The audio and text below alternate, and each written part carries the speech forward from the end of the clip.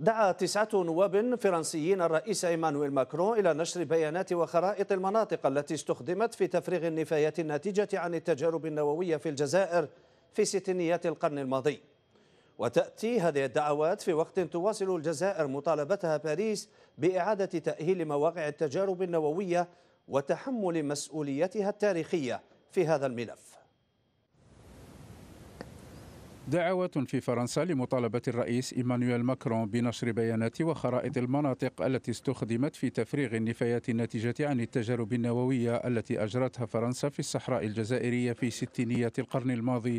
الدعوات جاءت من تسعة نواب في البرلمان الفرنسي حسب ما كشفته صحيفة لجورنال دو ديمونش الأسبوعية الفرنسية.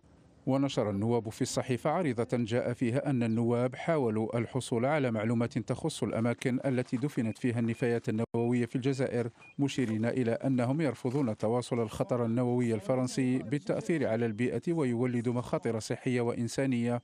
تحركات النواب الفرنسيين نابعة من مخاوف من انتقال الإشعاعات النووية عبر العواصف الرملية القادمة من جنوب المتوسط. وبحسب دراسة أجراها معهد الحماية من الإشعاع والسلامة النووية في شهر فبراير الماضي فإن عاصفة رملية قادمة من الصحراء حملت مادة مشعة أكثر من المعدل لكنها لا تشكل خطرا.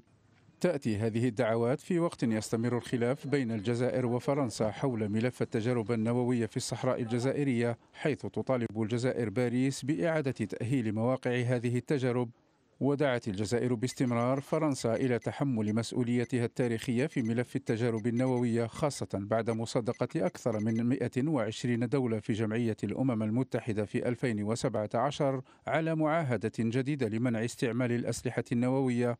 وتتهم السلطات الجزائرية نظيرتها الفرنسية بإخفاء الخرائط التي من شأنها كشف أماكن مخلفاتها النووية إضافة إلى مماطلتها في مناقشة قضية التعويضات التي تخص المتضررين الجزائريين من هذه التجارب وأجرت فرنسا في فبراير 1960 أول تجربة نووية في الصحراء الجزائرية بمنطقة رقان تحت اسم اليربوع الأزرق استعملت فيها أربع قنابل ذرية تصل إلى ثلاثة أضعاف قوة القنبلة المستعملة في هيروشيما وامتدت تداعياتها الإشعاعية إلى كامل غرب إفريقيا وجنوب أوروبا.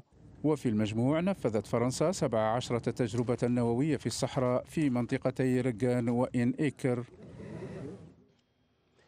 من الجزائر معنا عبر خدمة سكايب الإعلامي والمحلل السياسي فيصل شيباني. مساء الخير أستاذ فيصل أهلا بك. بداية في رأيك ما هي خلفيات هذا التحرك الفرنسي في هذا التوقيت بالذات للحديث عن مخلفات التجارب النووية الفرنسية في الجزائر؟ مساء الخير رؤوف مساء الخير لكل مشاهدي قناة الحرة. بداية هذا آه، التحرك الفرنسي هو نتاج الضغط الضغط الممارس في فرنسا والضغط كذلك الممارس في الجزائر بضرورة كشف فرنسا عن خرائط النفايات آه، النووية. قبل طلب النواب الفر... التسع نواب الفرنسيين من الرئيس الفرنسي إيمانويل ماكرو كشف آه، مكان النفايات النووية في الجزائر. كان قد سبقه مركز التسليح الفرنسي أعتقد منذ حوالي شهرين من الآن وطالب بنفس الشيء يعني ضرورة ذكر الأماكن التي خبأت فيها فرنسا النفايات النووية. كما كما أن السياق العام الذي يجري حاليا في الجزائر وفي فرنسا حول ملف الذاكرة وحرب آه، آه، الجزائر على خلفية تعيين مؤرخين المؤرخ بنجامين ستورا في, في كممثل الرئيس الفرنسي في في فرنسا وكذلك وكذلك شيخي في في الجزائر. أعتقد بأن هذه السياقات التاريخية وكذلك هناك سياق سياسي هام جدا هذه الأيام وهو هناك يعني ما يمكن أن نطلق عليه بأن هناك توتر سياسي بين الجزائر وفرنسا هذه الأيام. والدليل على ذلك إلغاء زيارة الوزير الأول الفرنسي للجزائر التي كانت مرتقبة اليوم بالتحديد بسبب مطالبة الجزائر بضرورة أن يكون الوفد الفرنسي كبيرا وهو وهو الشيء الذي لم يحصل بالتالي تم إلغاء الزيارة آه، تماما كما كما كما يأتي كذلك اليوم تصريح لوزير الشؤون الأوروبية الفرنسي الذي قال آه، بان بان الذي دعا بأن السلطات الفرنسية حاليا آه، تسير نحو تهدئة الأمور فيما يخص الجزائر وملف الذاكرة على وجه التحديد. نعم.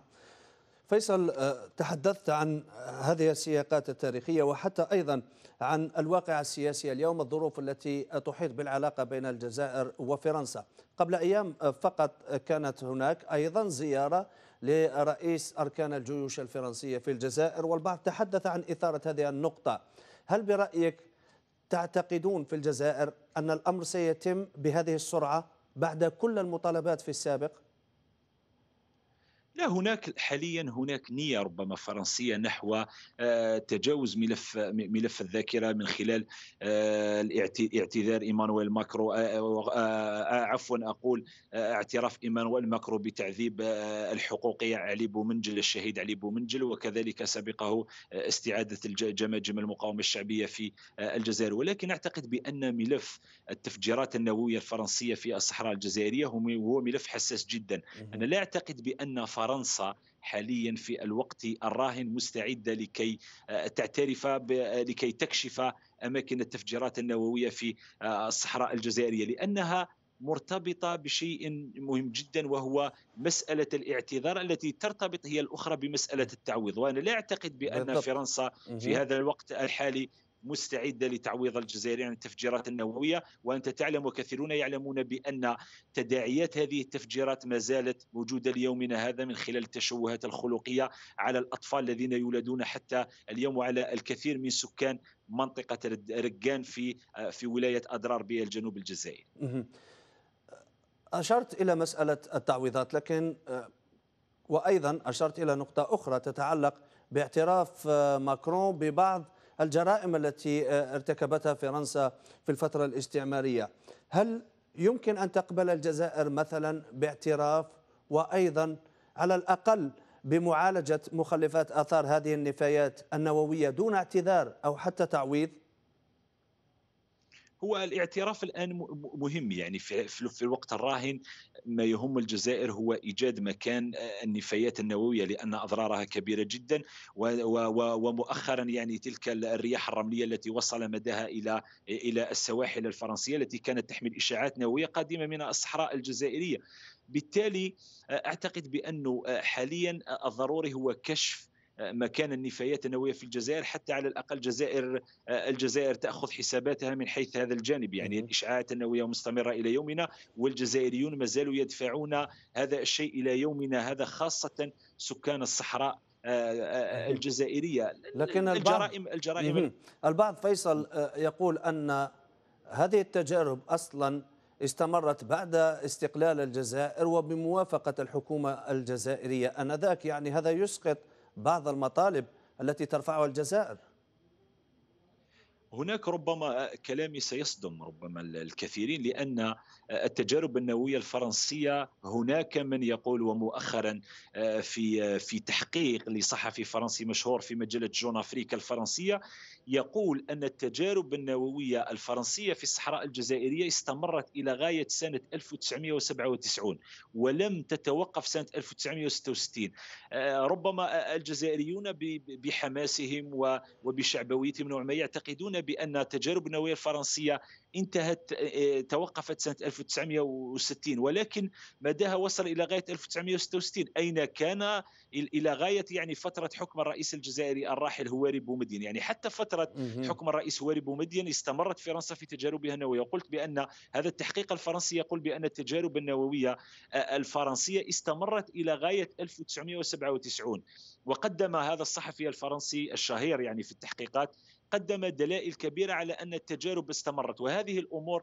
ربما تبقى مجهولة عند غالبية آه، الجزائريين ربما ستكشف الأيام آه، آه، القادمة ما الأشياء التي التي لم يعرفها كل الجزائريون حول هذه التجارب النووية الفرنسية والدليل أنه حتى هذه المناطق تعامل بشكل سري يعني من غير مسموح تماما ولوج هذه المناطق أو حتى الاقتراب منها من أجل التصوير أو إلى غير ذلك. نعم.